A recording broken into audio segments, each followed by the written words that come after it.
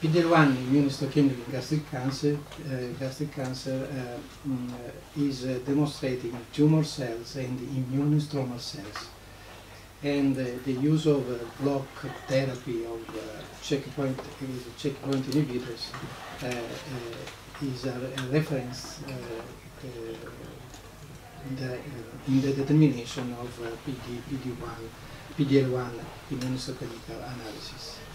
But the immunohistochemistry for PD-1 displays staining diversity and some interpretation difficulties.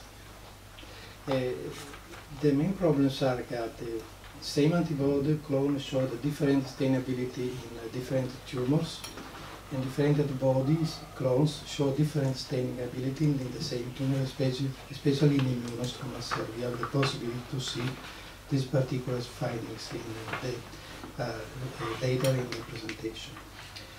Uh, the other problem is the cutoff value that uh, varied from 1, 5, and 10 percent.